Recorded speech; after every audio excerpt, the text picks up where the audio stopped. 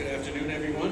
Uh, First and foremost, I- I- on behalf of Niagara University and our hockey program, I want to thank uh, Atlantic Hockey and and namely Commissioner DeGregorio for, for granting us this opportunity and giving us a home. And uh, uh, your staff and, and what you've done with this, with this new and young league has been remarkable. We are thrilled and honored that, uh, that we're now a part of it. And uh, I want to thank Ed McLaughlin, my athletic director, my boss, who certainly supports our program at Niagara to the utmost, and also for his vision and, and making this happen as well. And the schools and the other ADs in the league for, uh, for taking Niagara and Robert Morris when we could be out there without a home. I thank all the schools, and, and it's a great league with some, some great academic institutions and great hockey programs and some great coaches as well. So we're, we're thrilled um, to be a part of this. You know, I think our goal coming in, you know, we're proud of our hockey history at Niagara, what we've accomplished in our 14, uh, first uh, 14th season. And I think our goal is just to come in and, and uh, you know, I, I think the word that comes to mind when I think of Atlantic hockey is growth. And if, if Niagara can come in and help this league grow, continue to grow, um, that would be a great thing. And I think we have a lot to offer. Our, you know, I think the geographic rivalries that are now in place are going to be outstanding for the league. I think our location, size of our media market, the fact that we're in an NHL city, um, I think we can really uh, come in and help the league grow. So we're thrilled. Um, you know, it's, it's the time of year as a coach, we're so excited. Spend the whole summer, I have a magnet board, my depth chart on the back of my door, and every day in the summer I come in and play with lines and matchups. It's at that time of year, you're, you know, the juices are flowing and it's so fresh and it's just nice to be in a, a league with 12 teams and, and uh, we can't wait to get after it. So we're thrilled and uh, thanks for having us. Uh, this time, if there's any questions in, at the Blue Cross Arena, please raise your hand and ask Coach Burkholder right now.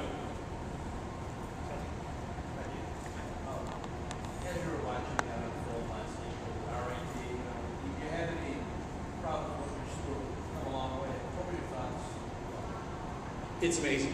It, it was, you know, I felt a part of it, and I think, uh, you know, the outreach from some of my former teammates and, you know, and interaction. I was on the NCAA committee, so I actually was at the games and, and uh, felt very special and very proud of RIT, our RIT accomplished. It was a remarkable, remarkable run.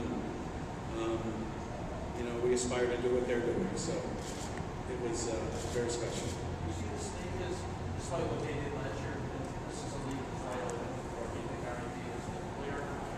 That's the team and then everyone else is chasing everything. I think, you know, obviously what RIT did last year in their returning cast, I mean, I think Lou said it best, they, you know, they definitely have the target. Certainly respect what Air Force has done, um, you know, especially in the postseason, past few years in this league, and, and then, you know, after that, it's probably, probably up for grabs from there. It, it's really hard, and I've, you know, thought about coming into the league and we've had a handful of games in Atlantic hockey, but so it's hard to have a feel for for where we fit in or what's going to transpire this this year. But and it's different when you play a non-conference game. You know, you can see it in the pre pre-game quotes for the players. They're worried. You know, when we play RIT last year, they're worried about their weekend against Canisius or Air Force, and not you know one game against Niagara. So it's been difficult to kind of gauge where we would fit in. As you said, that you did meet with RIT last season, so, I mean, what kind of that does that mean for the program? Committed to first, first player, team, knowing that you helped the team out before, before those year You know, I, I think it means a lot for our players. We were a young team last year. We had 10 freshmen, and most nights we dressed all 10.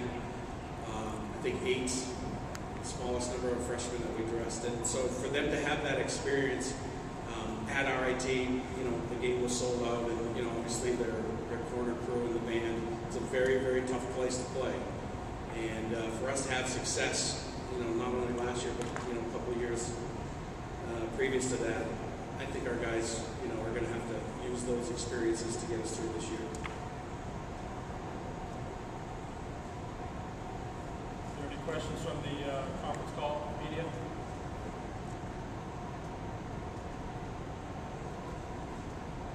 I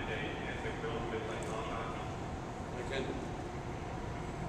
Uh, Dave, uh, what do you think about the fact that uh, your, your squad received a lot of respect right off the bat, uh, I, I think it's great. I think it's a testament to the guys in the locker room. You know, we're coming off, uh, you know, a year that certainly wasn't uh, wasn't one of our best in our 14-year history.